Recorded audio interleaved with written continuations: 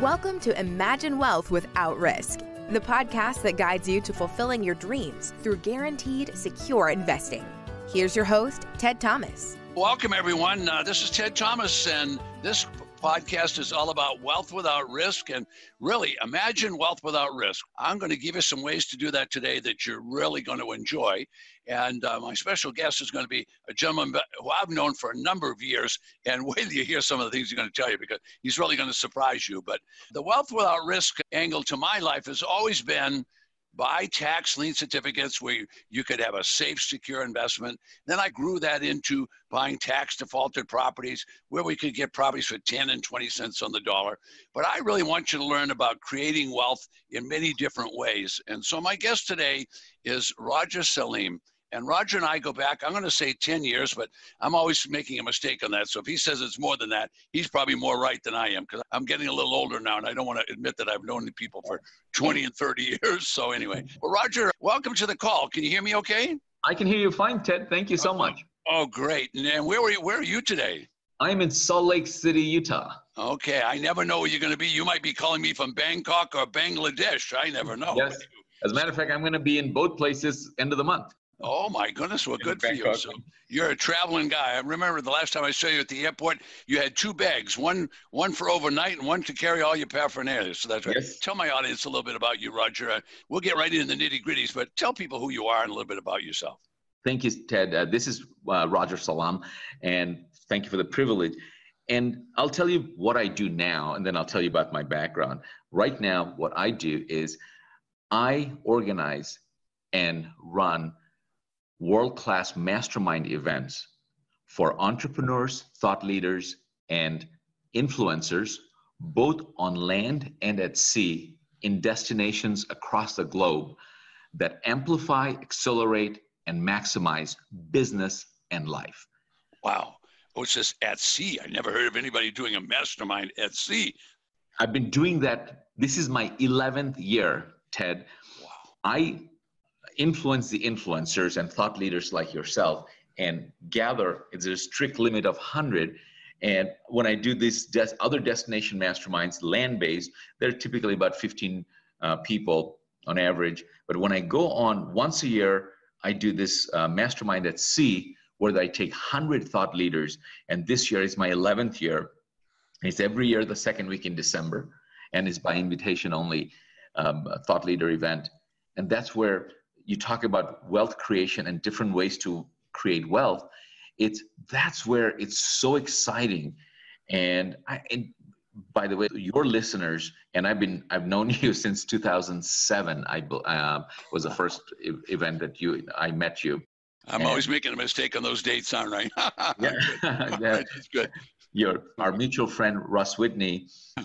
And as matter as a matter of fact i saw you 2007 is when we met as peers but prior to that in early 2000 i heard you speak at russ whitney's conference and that's where i bought your program.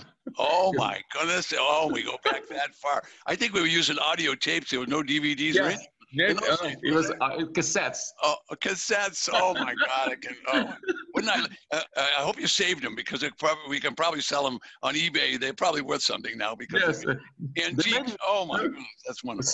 Smithsonian might have a copy of that. Yeah, yeah, wouldn't be surprised. Oh, listen, that guy, Russ Whitney, mm-hmm. I couldn't brag more about that guy. I'm not going to tell you about one thing, but over a couple or a number of years' time, that guy paid me two million dollars. Absolutely, and to work in his program, and what an honor it was. There was sometime 1,500. You remember 1,500, 2,000 people in the room. It was and amazing. I was one of those 2,000 sat there, and I could not believe when you're talking about and I'm, I'm, I'm just a newbie in real estate. Oh. And you're saying that all these other people speaking about real estate, that all your these are all your friends. And then Thurston, remember Thurston? Oh yeah, yeah, absolutely. Um, of course, and then all these people. So they're he was a president in the Mormon Church. Yes, yes, yeah, yes. And, yeah, amazing. And uh, his, his I, I, just met his son over here, Thurston Jr., and he's in, in the blockchain, very interesting guy. Then you came along when you spoke and you said, ah, You're going to talk about a program that is guaranteed by the US government. And by the way, that's when I also you talk wealth without risk is your friend Chuck Givens. He wrote the book on wealth without risk. Yeah. And absolutely. and my mentor Tony Robbins interviewed him. That's how I found out about him. And then you were the first one. I said, a program backed by the U.S. government. The, the worst thing that can happen is you get this much interest on your money. Yeah. And I said, I gotta buy this program. I, I you had an army of people from this 2000 rushing to the back of the room. I could not, I was trying to give you my credit card. I had to fight to Well- give you money. Yeah, that was those are good time. But tell us about that. This audience is going to know about me a lot, but let's talk about you because you're pretty darn interesting yourself. So, so tell people about yourself a little bit more and a little bit more about. I I I realized that you uh, do a mastermind on land too, but a lot of people do a mastermind on land, but doing one at sea, I, I think that's. Uh, I think that's unique, and let, let me tell you why. Because anybody that's belonged to a mastermind knows Yeah. when the two days or three days you get together, you hate it when it ends because you don't know if you're going to get the person on the phone and be able to continue because we all get so busy. But I bet there they have a lot of dinners together and they, uh, maybe Yeah. even a glass of wine or two together in the lounge or during the during the off time. So what, what's it like at a mastermind? So yes, so that your people know who I am. Just a little bit. They said I literally my if my I got into the personal development growth business with my mentor Tony Robbins back in the 90s. And I used to be his number one speaker trainer for Tony Robbins. And I literally retired at the ripe old age of 29 in Florida. That's how I got to Tampa because that was my last city. And I accidentally got onto the internet field in late 97, long before people knew how to spell email. And right there, I saw the internet as the next absolute frontier. I jumped with both feet and took a company from nothing to 2 billion in market cap. wow, that's IPO. So that's where I've made my first wealth. Yeah. But I also, I thought I was set for life because I had so much stock. But I'm also one of those people that I am loyal to a fault. It's, I was, the stock was at $50. I wanted to take the stock to 100. And unfortunately, remember when the internet bubble bursted in 99 Oh, that was terrible. and, Terrible. and I lost everything. I, oh, li- I lost my oh. everything when the stock market crashed. I, I joke when I speak. I said, when the stock market crashed, I slept like a baby, woke up every hour and cried. oh that's not funny. That's not funny.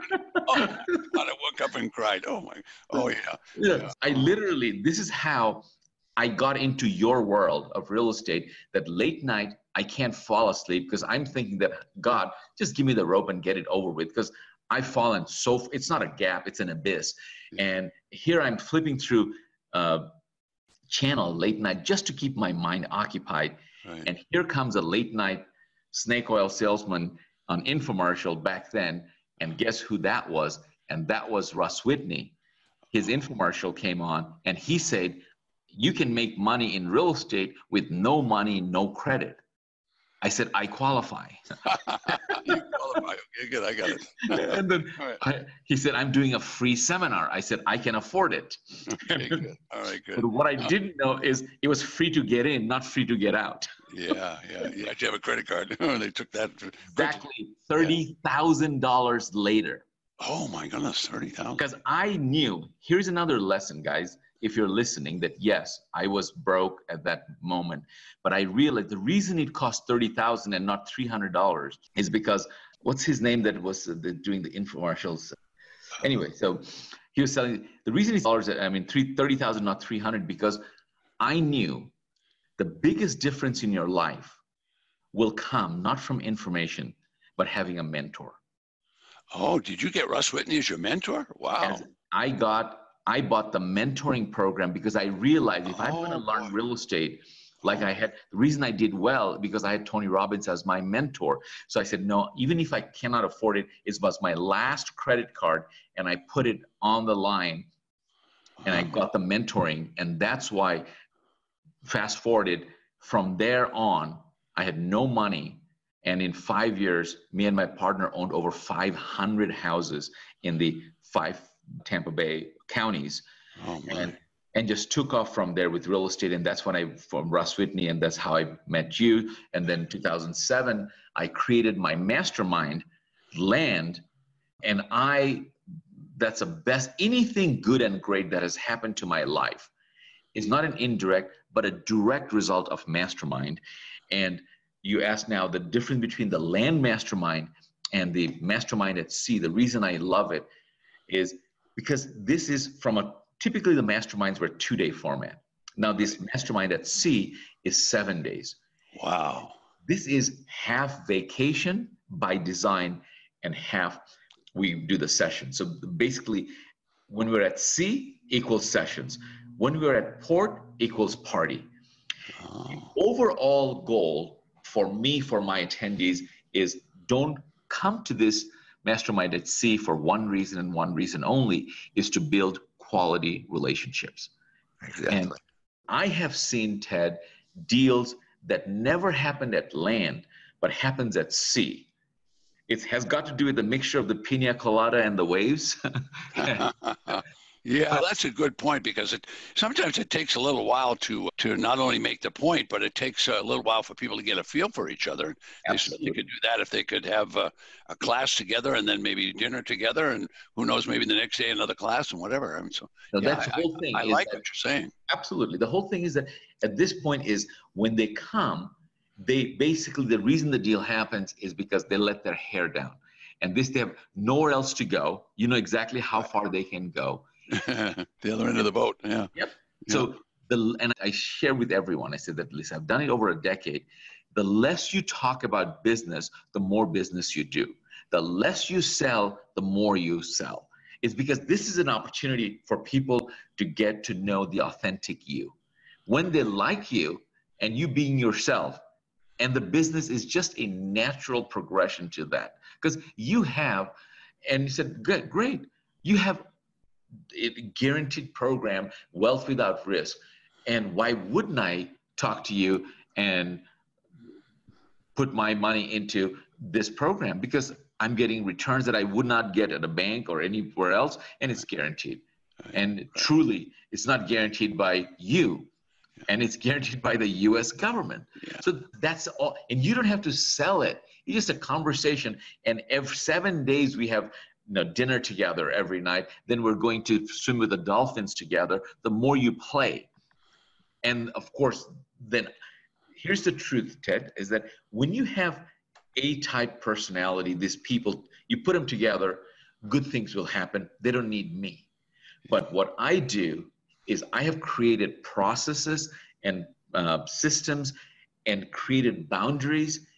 When you do that, then non good things, great things happen, breakthroughs happen because of those processes. And it ensures that joint ventures are facilitated. That's why it's a facilitation process. And over the years, I've created, tweaked, and tweaked to now that before they even come on the boat, I already know who they are and I'm connecting with them, people on land, and they're getting their money's worth even before they sign up early enough. And we're having events that are now sold out months in advance because I'm only looking for 100. And this is the only event that I not only allow but encourage people to bring their significant other spouse oh, because oh, sure, it's sure. a relationship business and then when they see their partners and now people get to you bring your spouse or significant girlfriend boyfriend and now they're having dinner with them and they get to know at a much deeper level and the conversation is fun yeah, absolutely. That's why. Absolutely. Um, I met a guy I work with today. Today, literally today, I'm going to be talking to in this afternoon that I met on one of your uh, one of your masterminds. Absolutely. So I notice a lot of people actually have copycatted you, but nobody has copycatted been able to do the mastermind at sea. I just think that's a, I think that's a whole marvel in itself. Is it complicated for someone to do something like that? No, the, one of the reasons because look, when I go land destination mastermind, like I went to yeah. Italy, New Zealand, China, Bangladesh, but those are moving parts. But when I go on a cruise, it's a very controlled environment. Yeah. I don't have to worry about the meals. I don't have to worry about the entertainment. Everything is taken care of. All you're doing, and you've created the fun environment over there. Yeah. And on this, the mastermind of, over here. Yeah. And it's I just announced right now. So I what they call a lifestyle entrepreneur right now. Yeah. It's for the next five years. It's the Americans, half of them don't even have passports. But it's not that they don't want to travel, they're looking for an excuse. They want somebody to hold their hands. And if they could go and travel and make money instead of costing money, then that's a, the best combination. I every year from now on, I said, I'll take you to five continents in the next five years on Mastermind at Sea. So we're going on a cruise to Alaska next year. The yeah. following year, we're going to cruise to the Mediterranean. The following year, we're going to cruise to New Zealand and Australia. The following year, we're going on a cruise to Singapore and China.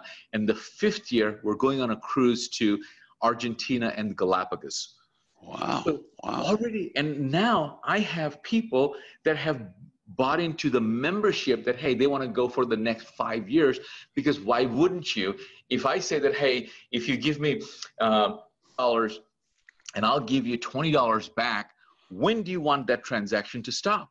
So, so that's if, if they like the mastermind at C1 and now they're saying, oh, wow, I haven't been to these places and you're going to take me all of everything's take. I just show up all you do is you show up in that particular city of starting point and everything is taken care of from that moment on so let me switch gears. Let me switch gears, right? Yeah. That's great. Hey, I'm your big advocate. You know that, so you can always count on me to help you promote it if you want to. And uh, yeah, uh, but let me let me ask. You're the you're really the international man, and you don't ever brag about that. Uh, so I, I want you to to talk a little bit about that because I know you were brought up in a, a unusual uh, place for Americans to even know where it is. Yeah. But you uh, come from an unusual background. Not that it means it's bad, it's just that it's different than the American way. And because you then came here and went to UCLA and graduated with honors and so on. And so I, I admire what you've done, but tell people a little bit about your background because Americans, I'm not negative on them in, in any way, but they sometimes a little bit limited and you don't have limits. You just don't have limits. You, you could uh, easily be in Italy today, and you could be in Alaska tomorrow, and you could be in Bangladesh the next day. And you are sometimes. I, I realize that. I literally, I'll be at the end of the month. So I'm into creating wealth, and I do that with tax liens and deeds. And the only reason I do that business is I was a real estate entrepreneur, and I really got to, like you did, get my teeth kicked in. And I said, I'm not going to be in the risk business, but I love the way that you live because you do a lot of things that other people don't even dream of. All right, so my career was as a pilot, as you remember. So I got to travel in a lot of places all over the world. But in comparison to you, I'm like a stay-at-home uh, grandfather. no, no. So, so, tell people a little bit about where you came from and how you got this change going on. And I know your family travels too. Uh, seemed yeah. to me that do I remember some of your family were in the diplomatic corps or something? No, they they were fortunately they're all in business and. Oh, okay. Yeah, my father, as I said, I'm originally from Bangladesh and I yeah. came here to go to school. And you're very true that Americans and geography usually don't go together. Exactly. they don't and, even know what Kansas is. That's right. Yes. Yeah. So, and and you're funny you ask. Uh, when I first came to UCLA, and they would ask, "Where are you from?" and I'd say Bangladesh. And then first of all, they'd say, "Hey, oh, you speak very good English. Where did you learn English?" and I just, oh, jeez, oh my God. yeah, like, oh, they go, oh, you speak very, you're from Bangladesh, but you speak very good English. Where did you learn English? I said, oh, it was a long flight. Please, come on, get here. Come on, give my people some good information. Stop clowning around. This is only a guy with a long flight. Oh my God. He goes, where is Bangladesh? I said, oh, a little bit east of South Dakota. Oh my God! Oh. Because oh. they don't know where South they Dakota is. What difference does it make?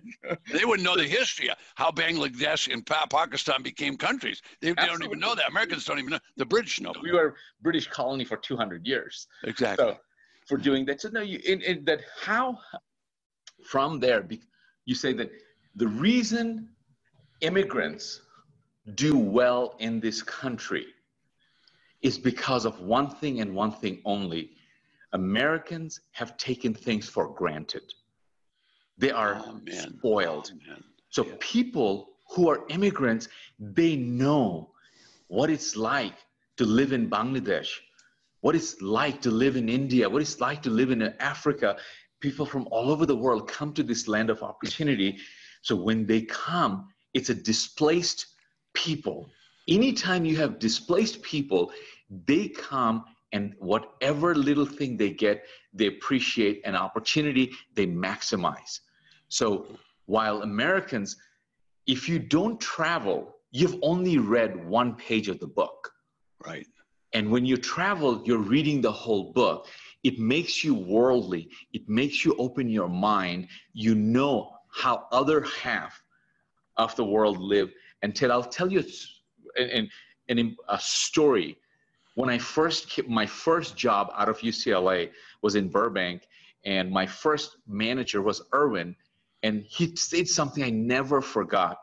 And uh, he was lived in Santa Barbara, had a, his brand new red Jag convertible. I like I remember like yesterday, and I'm so like Im- impressed. He would come for the weekdays. He had a little apartment in Burbank. Weekends go back to Santa Barbara. And when he found out that I'm that I work there and I'm from Bangladesh, he said, "Hey, come to my office. I have a story for you." He goes, "My son, teenage son, this is he's got long hair he's never in his room is always dark he, uh, had a poster on his door enter at your own risk he would never come down to dinner or any kind of family meals he's spoiled brat every time i am i cannot get his attention i got so mad one day i said hey you know what this summer i'm going to go send you send you away for this summer and my son looked at me. He goes, "Further away from you, the better." so oh I'm just God. telling you so to give you a background of oh. this is the kid, yeah. and he sent his son to Bangladesh for the summer. Oh my God! And it's peace, you know, into the Peace Corps jobs. Oh yeah. And Peace Corps. So he goes. Irwin said, "Look, now this is the greatest gift Bangladesh has given to me. My teenage son, when he came back, of course, he flew into LA, LAX, and then yeah. he took a puddle jumper to Santa Barbara. I went to pick him up. Santa Barbara Airport was like it's still tiny, but that back in the days was so tiny. You literally walked to the runway to pick up your luggage and yeah. bring. And he said he came down the the stairs of the plane and he saw me. Normally, before he left, if he saw me, he would go the other way. This kid started walking faster. Then he started running and with oh. his bag. And he dropped his bag when he came to me. He jumped like a little kid. He gave me a bear hug, and I will never, ever forget wow. what he said to me. He grabbed me, gave me a bear hug, and he whispered into my ear. He said, Dad, I will never complain again. Ooh. He was a spoiled brat, Santa Barbara, rich kid every Christmas gets every toy that he plays with for one hour, then he throws the toys away. And now he went and saw how the other half lived. Wow, what a transformation, huh? And yeah, so it says, I am so grateful that Bangladesh gave my son back. It's the best thing I have ever done, ever done for so, my son. So tell my audience, uh, give us a few minutes about Bangladesh. We know the people are great. Yeah, yeah tell, Bangladesh, how t- tough it is to grow yeah, up in Bangladesh. Exactly. So in, in 1971, there was a civil war. Bangladesh was formerly East Pakistan. Yeah. And in 1947, if you, most people in America may have seen the movie Gandhi. Yeah. And in the movie Gandhi, and he was trying to keep the whole subcontinent together as one country. But that's when India became two countries, Pakistan and India. And West Pakistan and um, East Pakistan were two, you know, two uh, halves of the same country, like North Korea, South Korea, East Germany, West Germany back then. But here, nowhere in the world where they're east and west, there's was 1,200 miles in between. And that was all India. And in and all India, sort of an enemy territory in between. And the British knew when they did it that this probably won't last 25 years because they're divide and conquer. And now, in, between West Pakistan and East Pakistan, we didn't have anything in common other than religion, because that's how they divided India and Pakistan. There's this huge piece of land, and they said, if you're going to have two countries, how are you going to decide the how are you going to divide the territories? That we're going to have referendum in each of the provinces, and they decide whether they want to be part of India or part of Pakistan.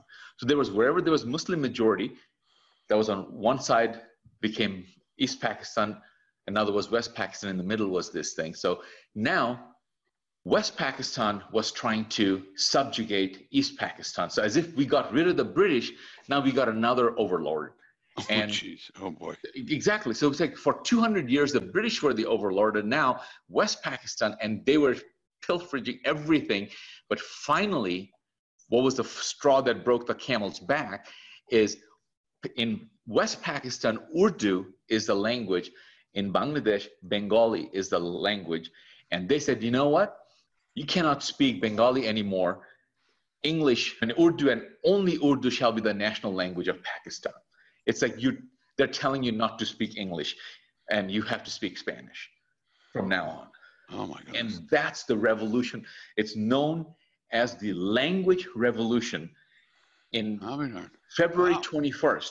Interesting. It's because of Bangladesh, United Nations all over the world on February 21st is known as the language day, as your mother tongue, because this whole country became a country and at the fastest time, civil war in nine months, we took our freedom back and became, and with the help of India and East Pakistan became Bangladesh and they surrendered and they basically two million people they killed in that oh civil God. war.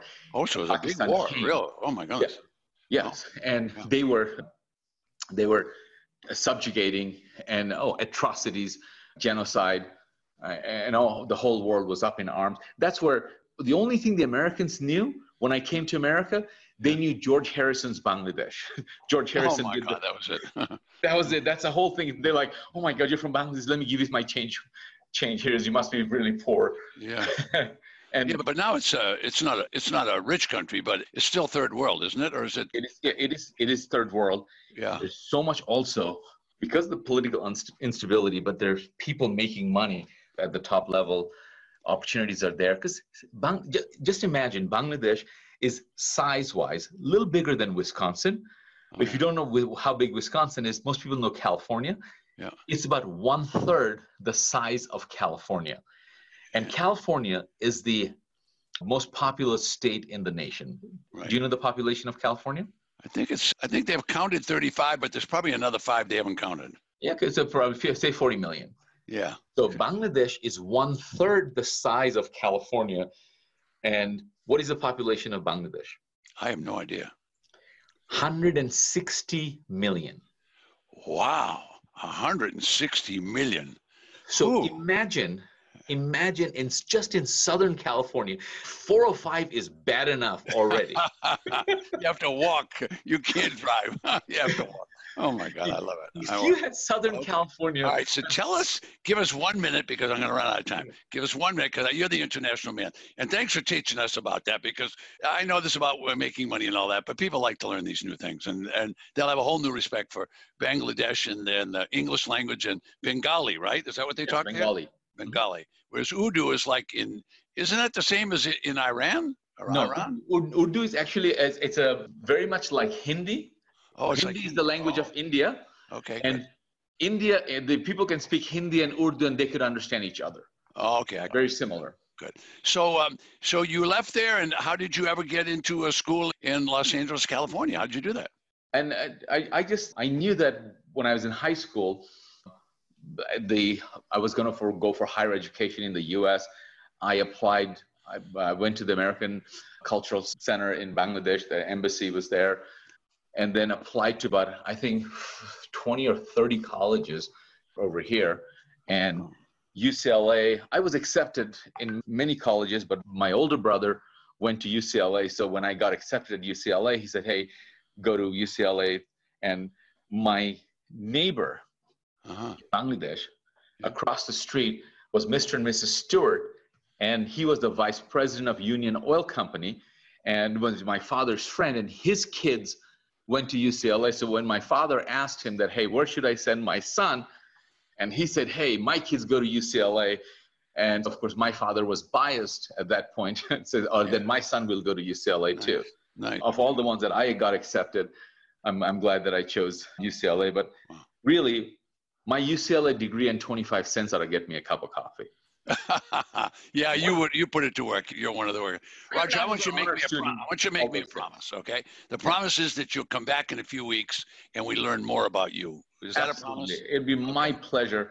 Okay. Uh, now we want you back, but I want you to close by telling people how they would find out about your mastermind at sea or anything else you want them to find out about. And just to give a, a quick address so we, yeah. we record it and people know about it. Cause I'll get all kinds of calls and emails and say, why didn't you tell us how to get a hold of Roger? They want to get a hold of you. Okay. The easiest way is, is go to mastermind at sea.com.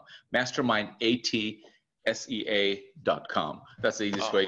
And oh, you'll find out about the next mastermind. We, we, we both we both said when we start, 30 minutes goes too fast, but you know how this is. We're always limited. But you made a promise now, so you can't get away. I've got your on tape that you're going to come back and we're going to talk more a little bit about Bangladesh. But you know what I want to know more about on the next one is let's talk more about creating wealth because you've come up with a lot of different ways of doing things and you've done a lot of things. You made a, some great successes as I guess all of us entrepreneurs that not all of us because some of them some of us didn't you didn't get to bankruptcy, but I sure did. I remember that back in 1986. I'll never forget it. That was quite a lesson. Uh, yeah. You've had these same kind of trials and tribulations. Absolutely, absolutely. And so we need to convey some of that to our, some of our clients because all of our people are creating wealth, but we might teach them to be keep right on creating wealth, but be a little bit on the conservative side. But before I close, I want you to thank you again, and I want you to give us some addressing so they can get a hold of you. Absolutely. So that if it, but you can go to, as I said, mastermind at sea.com or rogersalam.com. Salam is spelled S as in Sam, A L A M as in Mary. rogersalam.com. And right. my email is roger at rogersalam. If I can help you in any way, please feel free to email me and I'll be happy to answer. Oh, you're such a special person, really special. And your English really is good, Roger. I'll never get over that, the long flight. That was the best one. Here. A long flight. Okay.